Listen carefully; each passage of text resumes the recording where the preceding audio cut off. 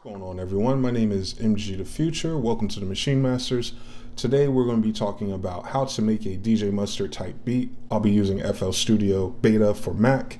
And in this video, my objective is to kind of talk about sound palette, drum programming, and of course, the music theory that's unique to the DJ Mustard style of music that I've stumbled across. Um, his style is usually fairly simple but all the power comes from the simplicity of it. It's almost like minimal house or minimal trap. Um, so definitely should be beneficial to you if you're stuck on a certain project and want some fresh ideas, or if you're in a beat block and you want to try out something new. This video is for you. So let's get started with the basics. Let's just do a simple drum pattern in a DJ Mustard style. Um, for most of his joints, he's in the 90s range, right? He's anywhere between 90 and 100 beats per minute, so I'm gonna use 96. He has a signature sound that he uses that kind of lets everyone know it's his track. And that's the Hey vocal chant. Um, I believe Lil Scrappy, Lil Jon, back when we had those kits, that's where that sound comes from. So when you're working in single time, meaning a tempo that's not doubled, such as 140, um, usually your chants are to go every third block.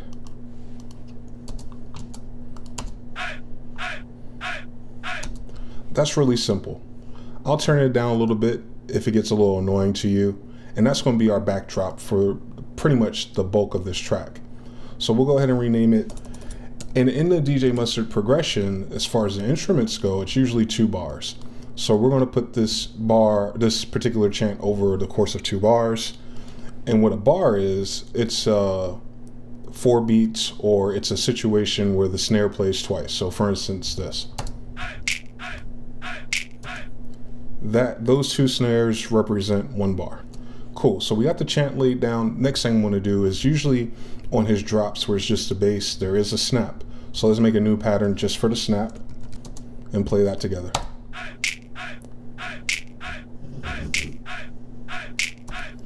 All right, we're gonna keep building along, just getting some of the background stuff taken care of. Um, one of the big things he does is that on a drop of every transition, there's a cymbal crash, right? So we'll just name this crash. It'll only be on the drop. And I have a cymbal picked out for that. Now what I'm going to do is add some variation to this. Um, usually, when you're dealing with um, single time arrangements or things under 100 beats per minute, usually, there's a change up every four bars or every eight bars. So this will be the fourth bar, that would be a change up. This would be the eighth bar, this would be a changeup, depending on what you want to do. In the case of DJ Mustard, his changeups are usually claps. So let's make a new one and we're going to do something called a rolling clap. We're going to put that on the fourth bar, which is marked at the top. I'm going to loop that up and I'm going to pick just a standard generic clap.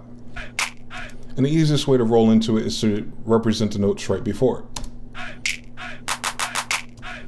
Of course, his is not that stiff, so he's using a smaller um, subdivision of time. So we go into the piano roll and the clap. We click on this magnet, which changes the size of our grid, and we could try half steps instead of steps. So we're going to find the notes that we're going to use. We go ahead and copy them and move them over. Now it should move faster, similar to a triplet. And of course, it's not that obnoxious. It's not smacking you when you hear it in DJ Mustard song. So the easiest way to kind of manipulate that is to draw a curve. So at the bottom of Fruity Loops piano roll, this is velocity curve. Make sure next to control it says velocity. So that's our clap roller. Now to give it more impact for the downbeat or for the next downbeat, which would go here, we need to have some kind of transition effect. Sometimes he uses reverse cymbals, but unlike trap music where they use risers, he just uses big reverb claps. So we're gonna make a new channel for that too. Luckily for me, I have sound packs that already have reverbs on them, so I'm gonna use one of those. And if you don't have that, I have this assigned to channel 14. So if you're in FL Studio, all you gotta do is open up something like the Convolver. And under presets, you're looking for Hall Hall warm.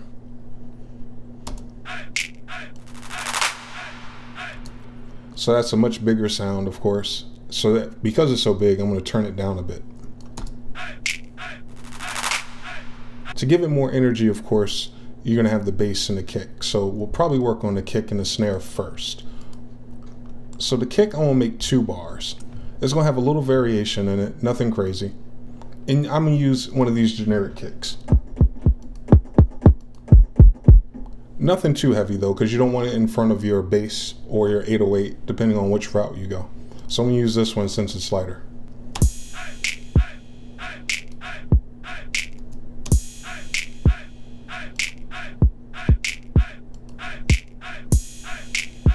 Cool, so that's the kick pattern. And now we're gonna layer it up with a clap.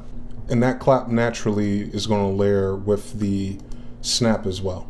We're gonna change the grid on our playlist and make this beats. And what I'll do is I'll pull all these patterns back that's not the reverb clap.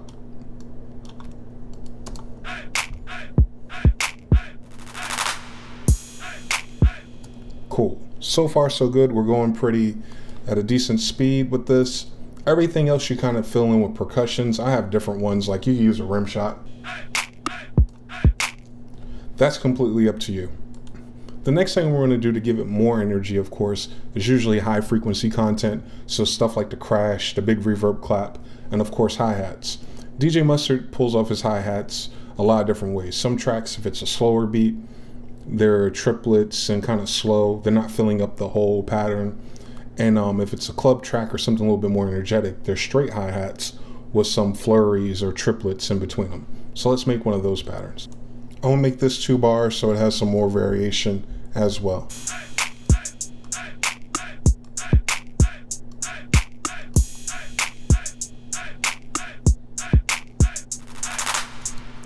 Now I want to add way more interest to that hi-hat. So I'm to right click on it, go to piano roll.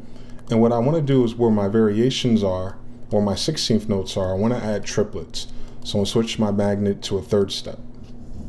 I'm to zoom in where these extra notes are and get rid of it. And to draw triplets, you can just fill every note. Let's make sure our velocity curve is decent though.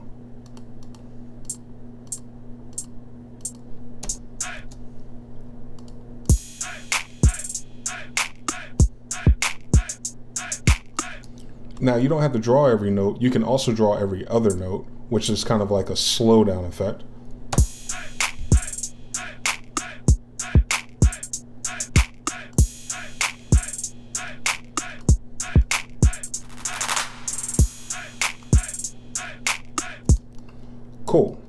Now to give that some more variation and kind of liven it up, I'm going to enable a flanger. He uses this a lot and it kind of gives it that tinny sound.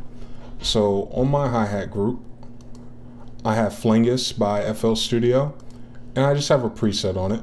You can use any one you want. Basically, you're going for whatever sounds good.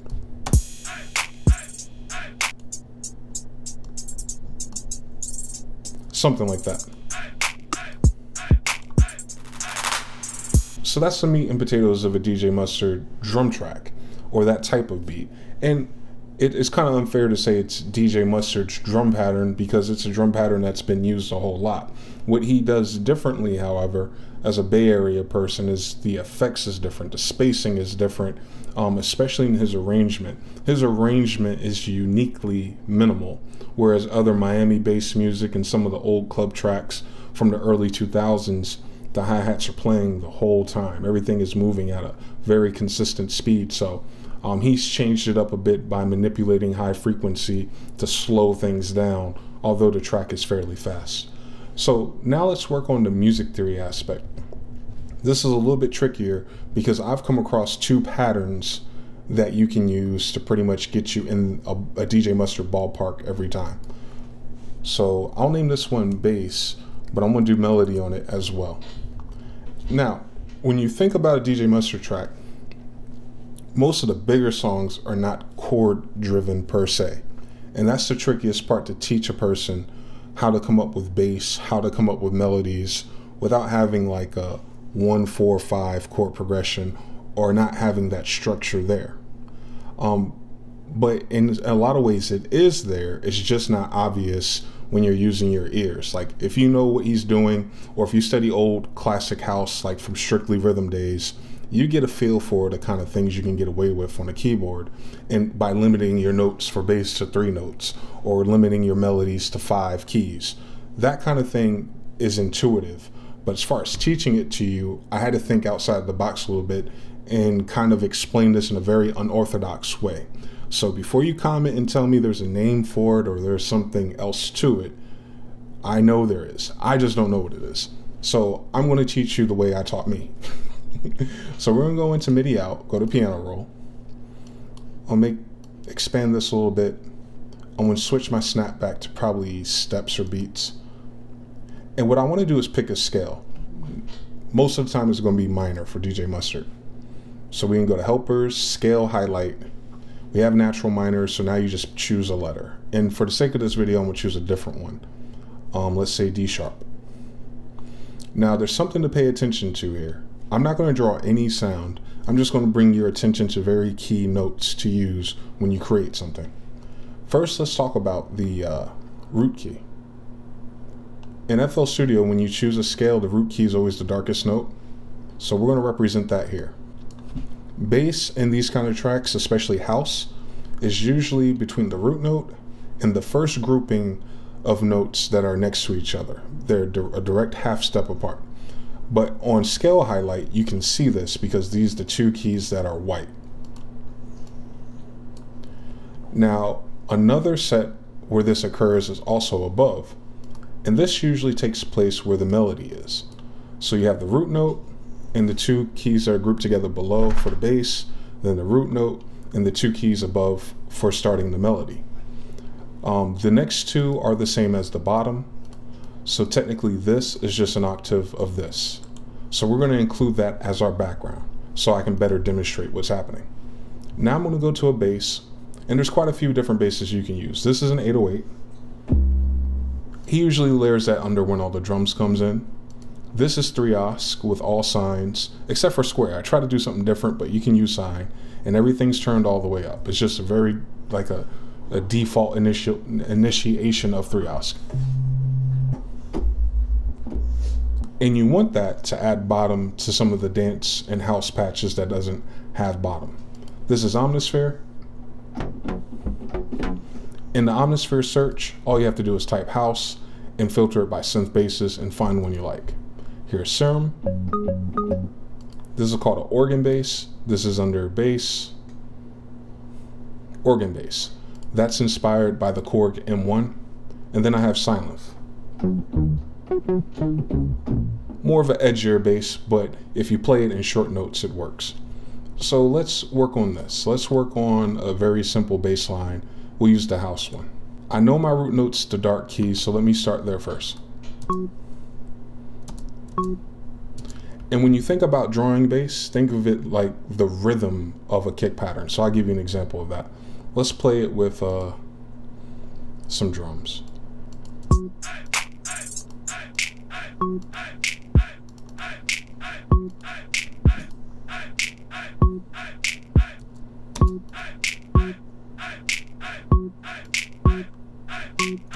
Cool. Now I'm going to relocate these notes.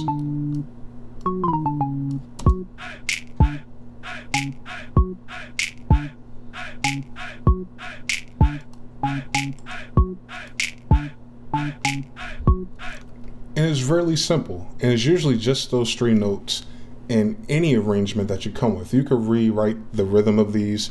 You could do a different kick pattern so this works better. But it's normally this degree or spacing or that jump and it works in any minor scale, which is the crazy part. And I'm going to break it a little bit because this note is a bridge to the first note, which would be here.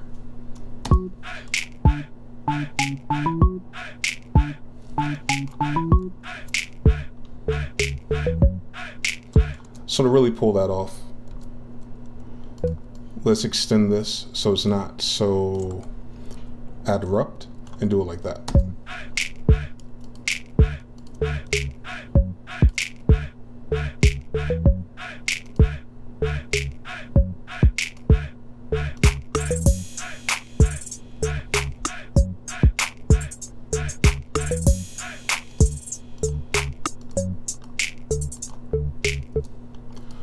Is still method one. This is using or picking five keys out of your scale based on their spacing relationship, the two that are close together and the root note. And this and it's the same pattern in every minor scale. And it might be the same in major too. I just haven't tackled that yet because you know minors and majors they have they overlap. So now we're going to deal with uh, melody. In this particular style where uh, you're using the root note and the two keys below it, melody is going to be the opposite. So for my bell sounds, I have Massive, which is good for bass too, but Massive has some of the best synthetic bells, I think. Sytrus, of course. And Hybrid, which is by Air Instruments. Has folders of bells. So I'm going to go into the bell piano roll, and now I'm going to have the same concept. I have my root note, and I have the keys that are grouped two and two above the root note, which is here. So there's a few ways to do this. He usually starts on the downbeat, so I'm going to do the first one.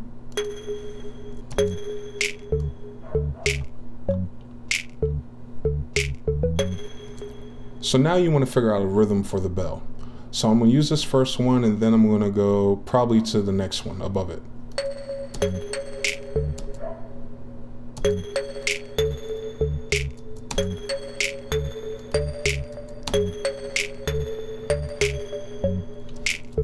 Copy that over and maybe add a variation to the end.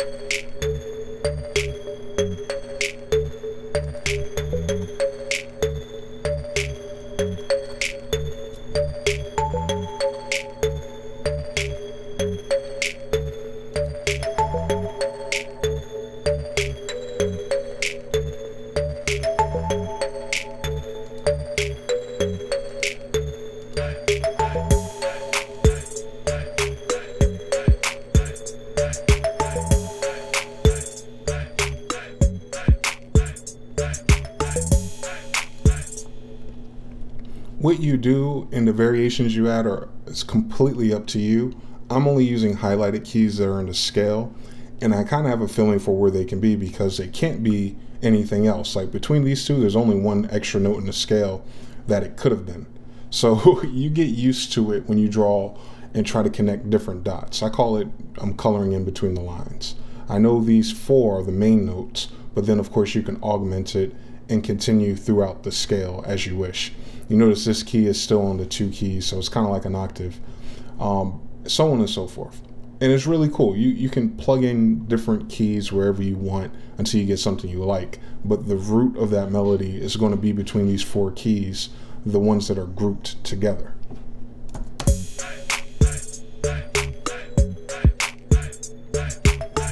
And because you can do that in any scale, you have tons of different melodies. They're not always the same. So your focus is going to be on pattern. Like, what's the pattern of the melody? Um, what are the steps? Not so much what the keys are. And I think that's why he can be so productive because if he or the guy Mike is playing that way or used to playing that way, then I know it's really simple. So that's one example of how to deal with that. Now, what I want to do is example two. This way is a little bit more intuitive because it's evolving itself around chord progressions. Now, what I want to do is draw the chords of my scale, right? And when I pick a scale, I normally start on the one, which is the root note. So I'm going to start on this root note and come up with a chord progression um, just using root notes because chord progressions are um, like, let's say one, four, five. This is one, this key is four, this key is five. And what your chord progression is, it's the chords that begin on these notes. And once you have that progression, you can then fill it in with the chord itself by skipping every other highlighted key as I've been showing you in the past few videos. So this will be a 145 chord progression. So on a DJ Mustard joint, instead of using four chords like we expect from pop or two chords, which we normally anticipate in trap, I'm going to use three chords over the distance of four. And what I mean is I'm to repeat the first chord twice. So I'm going to go ahead and fill that here at the end. Now my job is to determine where the next chord's gonna go between that. And you can do any of them. I find four and five works a whole lot. So I'm gonna use four, drop that down. So I'll make this a little faster. Now, between this key and this key, I have one, two, and three. I can pick any of these three that are in my scale to figure out which one feels best.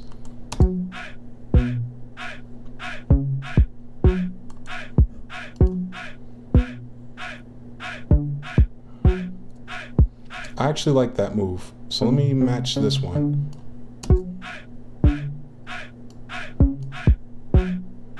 Cool, that works better than five.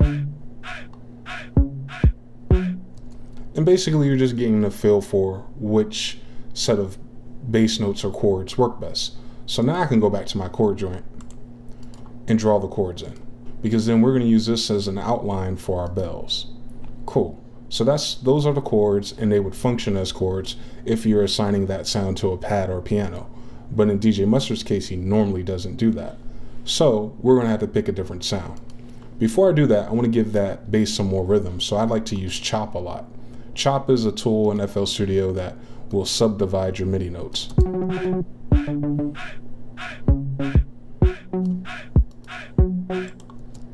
And let me drop this down a range.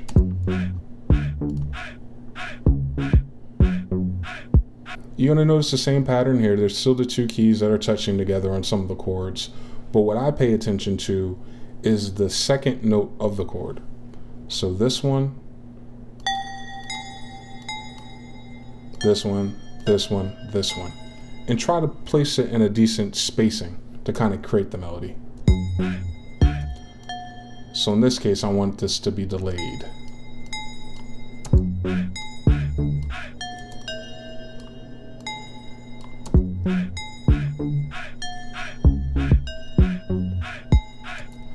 And now what you're trying to do is draw the bridge between these notes to give it more interest. So that could be any of the keys or existing keys that make up our chords. For instance, this one.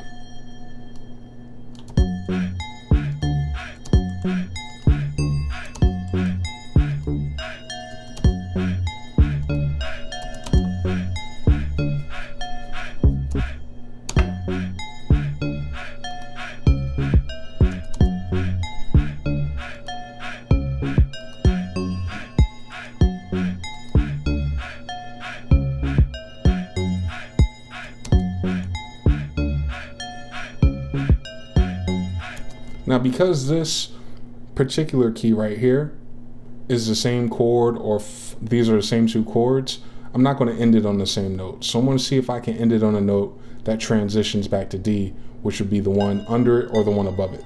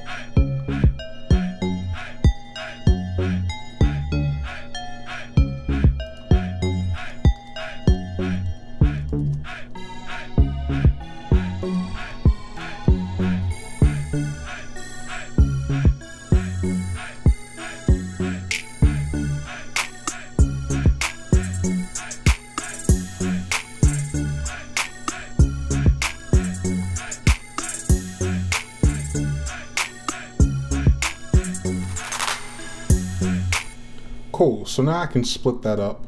Um, this is the, I'll make this the bassline track and put the melody on its own. I'm actually going to stack that bell up an octave lower.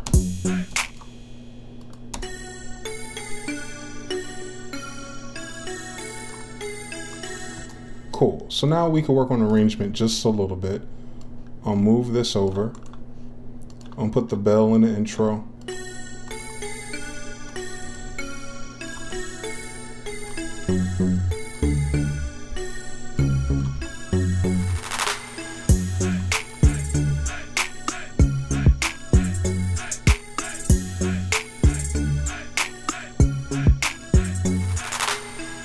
Normally transitions into a very plain verse, right?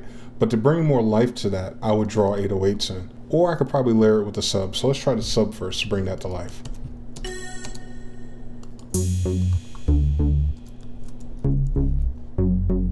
That works.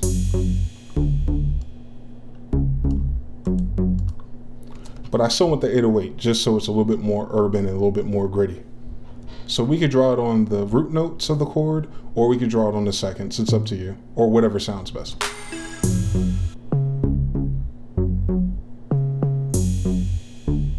Now I want to slide that. A lot of people ask me about slide notes. On FL Studio is really simple. The first thing you want to do is make sure your 808 is set up with an envelope similar to these settings where release dictates how long the note is. Then click on the gear icon and make sure mono is enabled. Um, and sometimes you don't even need that. You just need to be able to draw the slide note. Now the slide note is these two characters here. I'm gonna click on this one, which at the top left will say slide. And I wanna slide this note probably an octave under. So we'll just represent where that is. And what you have to do to slide it, this slide note has to intersect a regular note. So where this is, line is intersecting, it's going to drag it down.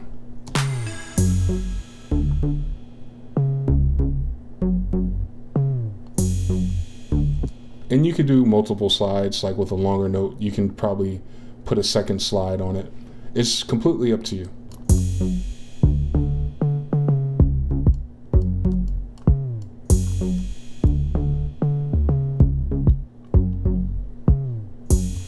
And you're almost playing the 808 like it's a melody for club tracks because it's a lot more fun and you're not going to use this bass the entire track anyway.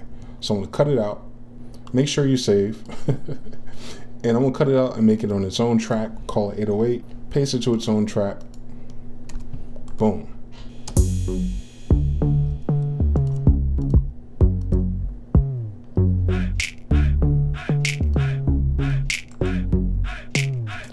and then he goes back to the bells. So we'll bring it back, we'll bring the bells back in with just the bass line.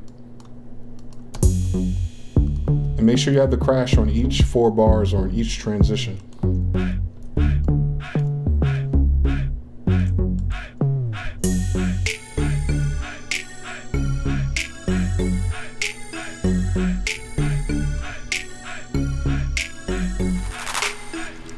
Now this is getting to the second part of the verse, which is the next eight bars, because you know a verse is usually 16. And what I'm going to do is turn the energy up by bringing those hi-hats in. But I'm only going to bring them in here. And then I'm going to take the chants away, because they come back on in the hook, and replace it with the claps and the kicks.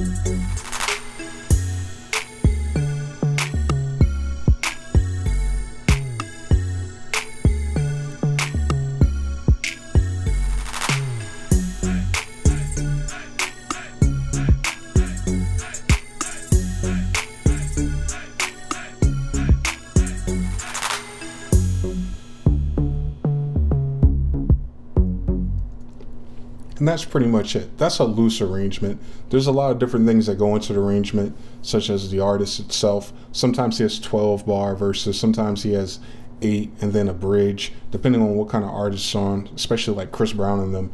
They have different vamp sections and stuff, but for the most part, you can just do 16s and wait for the artist to make those changes with the engineer or if they send you those ideas for changes. But that's just a blanket arrangement, right? You're alternating the drum patterns, you're alternating when the bass comes in, when the 808 comes in, and basically you end up creating all this energy, this minimal energy, without having to compensate with sound effects, chords, and um, extra instruments taking up the stereo space. It gives a lot of room for the artists to think of words and find their presence. And hopefully that makes sense, or hopefully you being able to see that workflow will help you with your own arrangements and your own ideas. Again, though, just for quick review, just make sure when you're writing hip hop or club chords, you don't use too many of them. Just use two to three different chords. And because you usually need an even amount of them, just repeat a chord and kind of just flow with what feels best. Use those highlighters and those guides to help you write around these chords. And there's nothing wrong with that. People who play by hand and by ear are doing that. They just don't intellectualize it that way. So this is way more powerful because you can see what you're doing and then execute. But anyway, I'm MG the Future. If you have any questions, comments, or concerns, definitely leave them in the boxes below. If you're not a subscriber, definitely subscribe. If you want to reach out, speak, or need advice, you can reach us on Instagram. That'd be the best way. I'm at MG the Future. Be sure to also follow at Maschine Masters. I want to thank you guys for tuning in. Until next time, peace.